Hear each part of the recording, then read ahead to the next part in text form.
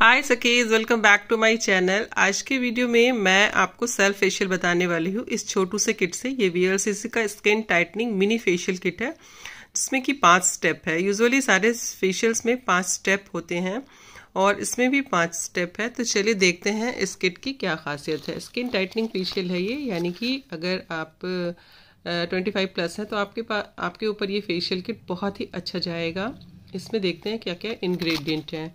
तो ये फेशियल जो है B L skin tightening facial kit unique formulation induced with sunflower walnut and almond extracts ये deep nourishment करता है। उसके साथ साथ आ, अब देखते हैं कि इसमें क्या क्या है। तो क्लिनजर प्लस टोनर है। इसमें फेशियल स्क्रब है जिसमें कि बेरी बेरी और बहुत वॉलनट इत्यादि मिक्स हैं। उसके बाद फेशियल मसाज जेल है। उसके बाद आता है फेशियल मसाज क्रीम और उसके लास्ट में आता है फेशियल पैक तो ये जो छोटे छोटे किट होते हैं, ये काफ़ी बजट फ्रेंडली होते हैं। आप भी ऑफ़र देखते रहा करो। मैंने इसको फ्लिपकार्ट से बाई किया है। लिंक में डाल दूँगी। ऑफ़र देख के आप अपने लिए कुछ चीज़ें मंगवा सकते हो। तो चलिए आज देखते हैं घर बैठे बैठे फेशियल कैसे करते हैं और इस फेशियल का क्या रिज़ल्ट आता है। चलिए स्टार्ट इसको अच्छी तरह से क्लीन कर लिया है मैंने और थोड़ा सा गर्म पानी ले लिया है जो कि हमारे स्टीम करने के काम आएगा। तो सबसे पहले मैं क्लिनजिंग प्लस टोनिंग निकाल रही हूँ। क्लिनजिंग और टोनिंग दोनों करूँगी मैं। तो इस तरह से स्टार्ट कर दिया है मैंने। ये दो मिनट तक करना है। इसकी खुशबू बहुत ही अच्छी है। इस तरह से सर्कुलर मोशन में आप दो मिनट तक फेस को मसाज करें।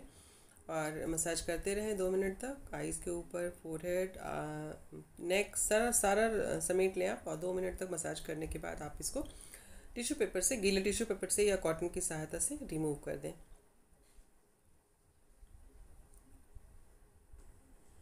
इसके बाद हम सेकेंड स्टेप पे जाएँगे जो कि स्क्रब का है। तो हमने यहाँ पे हथेली पे स्क्रब निकाला है, जितनी ज़रूरत हो। क्योंकि मिनी किट है तो पूरे, पूरा का पूरा लग जाता है, इसलिए आप कंजूसी ना करें, पूरा अच्छी तरह से सेल्फ फेशियल करें।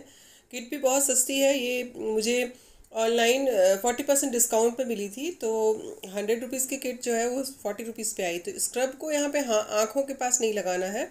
आँखों का एरिया जो होता है, बहुत सेंसिटिव होता है। तो स्क्रब हमें आँखों पे नहीं लगाना है। नोज़ पे चिन पे चिक पे, आप लिप्स पे कर सकते हैं आप स्क्रब और स्क्रब को भी ड्राई हाथों से नहीं करना है। इसके ग्रैनुअल्स जो है काफ़ी बारीक हैं अच्छे हैं। इस तरह से राउंड सर्कुलर मोशन में आप स्क्रब करें। स्क्रब भी तीन से चार मिनट जा, से ज़्यादा ना करें। स्किन अगर बहुत रफ़ और ड्राई है तो आप स्क्रब जो है तीन मिनट ही करें।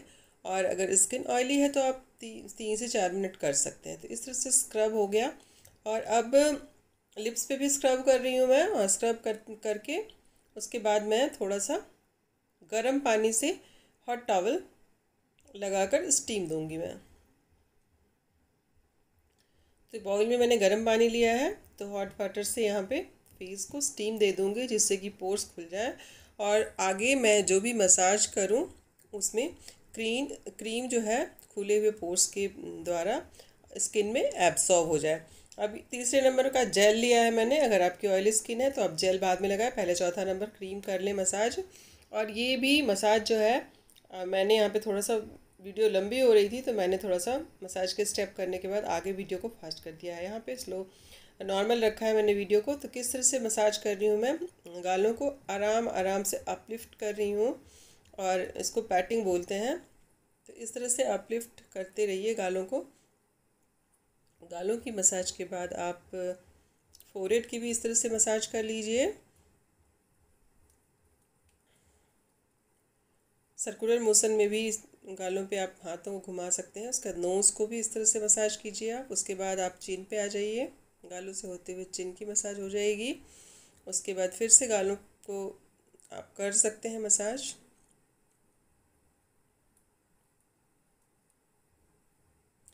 उसके बाद लिप्स की मसाज यहाँ पे की है मैंने। लिप्स के आसपास भी लाफिंग लाइंस एजिंग के निशान जो है लिप्स के आसपास भी आ जाते हैं। तो इस तरह से चिन और लिप्स की मसाज करने के बाद कानों के पीछे प्रेशर पॉइंट्स को लेना है और अगर चाहें तो आप वाइब्रेशन भी दे सकते हैं। यहाँ पे हमने रिंग फिंगर को यूज़ किया है। उसके बाद फिर आँखों के, आई मसाज के ऊपर आ जाइए, आई, आईज़ के ऊपर भी रिंकल्स क्रोफिट बन जाते हैं रिंकल्स आ जाते हैं तो यहाँ पे हम रिंग फिंगर से मसाज करने वाले हैं। उसके बाद आईज़ को बंद कर रही हूँ, खोल रही हूँ मैं। उसके बाद आईब्रोज की मसाज दे रही हूँ मैं। उसके बाद फिर से आई, आईज़ के ऊपर राउंड राउंड में मसाज दिया है मैंने। तो इस तरह से आप मसाज को रिपीट कर सकते हैं, पर चूँकि यहाँ पे ये वीडियो है तो मैं आपको थोड़ा जल्दी दिखा रही हूँ, लेकिन सारे मसाज के स्टेप्स लिए हैं मैंने। आप किस क्रॉस बनाइए आप इस तरह से? जैसे कि आप क्लाइंट को देते हैं, अगर आप ब्यूटिशियन है तो क्लाइंट को जिस तरह से मसाज देते हैं, उसमें जो जो स्टेप हो पाता है, वो स्टेप यहाँ पे मैंने लिया है। इस, इधर उंगलियों को फंसा करके ये वाला भी स्टेप और बड़े आराम से स्किन को पीछे की ओर, कानों की तरफ़ ले जाइए, होठों से स्किन को कानों की तरफ़ आराम आराम से ले जाइए। स्किन बिल्कुल टाइट होती है मसाज से और स्किन में ब्लड सर्कुलेशन बढ़ता है तो फ्लो आता है ग्लो आता है स्किन में और रिंकल्स इसके साथ ही साथ पिंपल्स और फिर डस्ट पोल्यूशन सब दूर हो जाता है स्किन से तो स्किन अलग से ही चमकना शुरू हो जाती है। तो इस तरह से नेक की भी मसाज आप मत भूलें। नेक की मसाज भी ज़रूरी हो जाती है तो नेक की भी मसाज करें आप। और इस तरह से ये जेल की मसाज है और सेम हम क्रीम की भी मसाज देने वाले हैं आगे।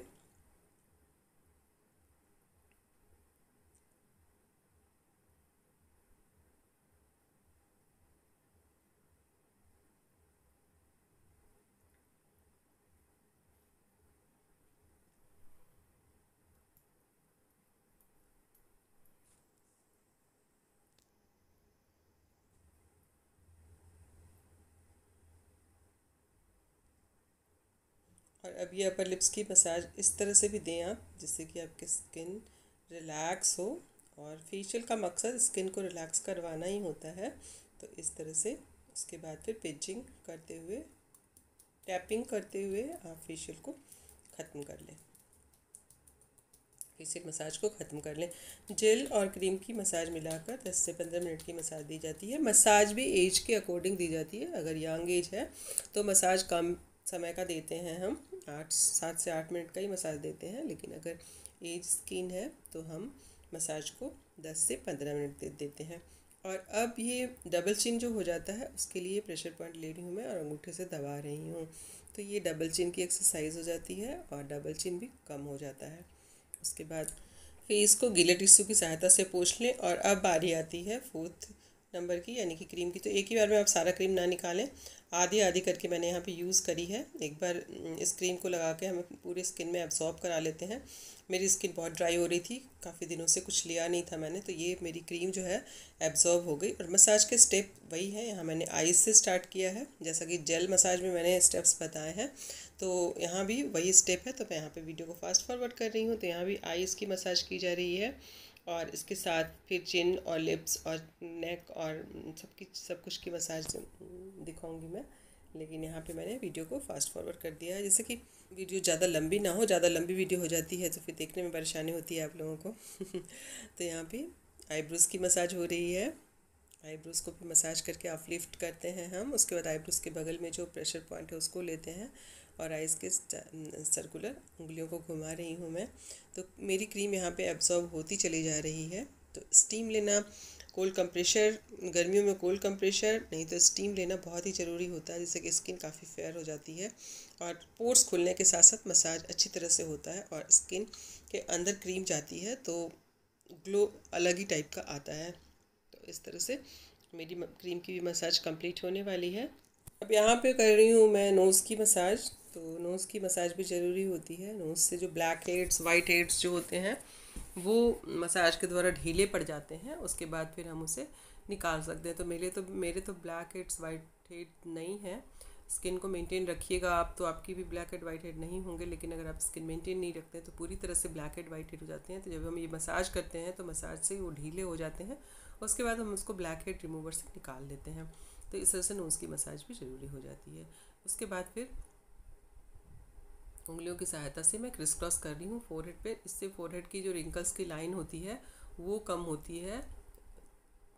चिक्स भी काफ़ी हैवी और उठे हुए दिखते हैं इससे।